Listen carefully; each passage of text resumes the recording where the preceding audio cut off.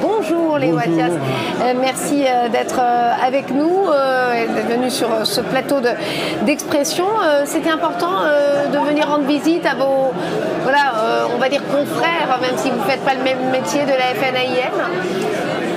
Le rendre visite, certainement, et évidemment, puisque bon nombre de ses membres sont adhérents à notre fédération et nous sommes là toujours euh, d'abord pour les conseiller, pour les accompagner euh, dans les divers pays où ils ont ciblé le marché euh, pour intervenir, pour justement accompagner leurs clients et récupérer des honoraires. C'est le, but un peu de la FIAPSI. on n'a pas de tabou avec l'argent. Euh, euh, on est là, c'est pour développer les réseaux et le chiffre d'affaires. Hein. donc c'est clair, c'est net. On, le, dit, non mais très souvent en France, on, a, on, a, on a ce tabou justement avec l'argent. Ce n'est pas le cas de FIAPSI France. La FIAPSI, est là justement pour faire rencontrer les adhérents entre eux, qu'ils soient au niveau national, je vous dirai après au niveau national comment on fait pour les faire rencontrer et au niveau international par les congrès, par les December Business Meetings, par les différents congrès qu'il y a, les prix d'excellence, pour faire rencontrer tous ces membres entre eux de tous les pays, parce qu'on est présent quand même dans 70 pays dans le monde aujourd'hui. C'est la seule fédération internationale de l'immobilier existante. Il n'y a pas de chapelle, il n'y a pas de concurrent, il n'y a personne en face mais on a une présence et on est également membre de l'ONU. Nous avons un siège à l'ONU. Quand l'ONU veut une expertise euh, sur du résidentiel, euh, sur du tertiaire, euh, elle fait appel à nous avec la présence que nous avons dans les différents pays, sur le social, sur l'habitat. Nous sommes capables de nous fournir une expertise et après, bien sûr, elle fait son travail, mais on est là pour, elle également. Donc on imagine beaucoup de défis pour vous, notamment en matière environnementale. Vous sentez une, une pression importante Tout à fait.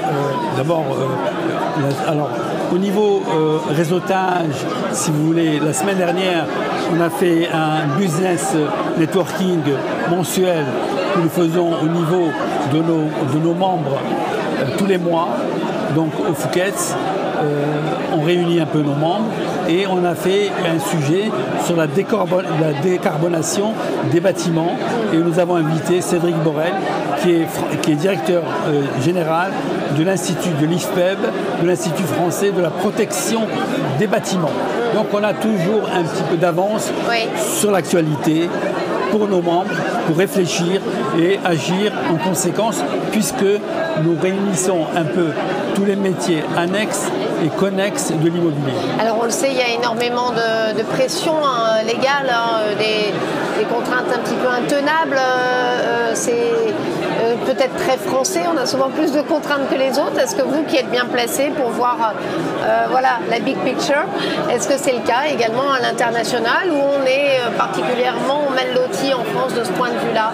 Alors aujourd'hui, je, pense qu'il y, y a un peu d'intox au niveau de l'énergie, au niveau des coupures d'électricité, ce qui n'est pas le cas dans les autres pays européens, voire mondiaux. Ok, on fait avec. Euh, il n'y aura pas de coupure en France. Ça, je peux vous l'assurer et, vous rassurer. Il n'y aura pas. Bon, après, pourquoi la presse euh, s'obstine à parler de coupure Allez, journalistes Voilà, voilà. Pourquoi euh, J'en sais rien. Mais en tout cas, je pense qu'on passera l'hiver tranquillement. Après, on verra. De toute façon, cette situation ne pourra pas durer et il faudra bien qu'un jour ça s'arrête. Elle s'arrêtera et donc tout reviendra dans l'ordre. Quels sont vos gros défis au sein de la, fédération euh, et vos, gros rendez vos grands rendez-vous à venir? Alors, euh, nos défis, c'est toujours les mêmes. Hein. Euh, c'est toujours faire rencontrer nos membres entre eux, entre eux pour qu'ils puissent développer leur business, leur chiffre d'affaires, leurs relations et pouvoir acquérir des marchés à l'international et aussi bien national. Ça veut dire que lors de notre business networking, si vous voulez, la petite agence immobilière va rencontrer une foncière, va rencontrer un très grand syndic, va rencontrer un notaire, va rencontrer un avocat, va rencontrer, vous voyez, des métiers divers et variés. Tout celui qui touche de près ou de loin à l'immobilier peut adhérer chez nous, ce qui n'est pas le cas pour les autres syndicats que vous connaissez classiques.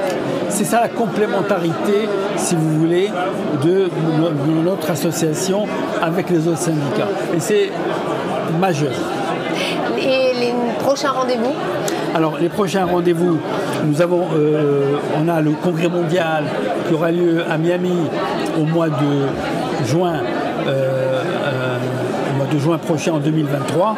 Et on a également un December Business qui aura lieu à Budapest également pour faire rencontrer plus les 70 délégations in- internationales aussi bien à Miami qu'à Budapest, mais entre-temps, il y a des prix d'excellence qui est un peu dans tous les pays. Chaque pays organise son prix d'excellence et qui réunit aussi bien les promoteurs, les architectes, qui désignent un peu le meilleur projet tout autour de l'habitation. Vous voyez, je veux dire, Et ça, c'est quand en France?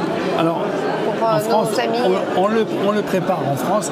C'est pas un sujet facile, mais il a lieu déjà à Berlin, il a lieu déjà à Budapest, il a lieu déjà en Géorgie, il a lieu déjà, vous voyez, je veux dire, dans plusieurs pays, mais à nous de préparer, parce qu'on vient de sortir, si vous voulez, d'un congrès mondial à Paris, Oui. puisque la FIAPSI a fêté les 70 ans, et la FIAPSI a été créée par un Français, Pierre Colville, et on a fêté les 70 ans à Paris au mois de juin dernier.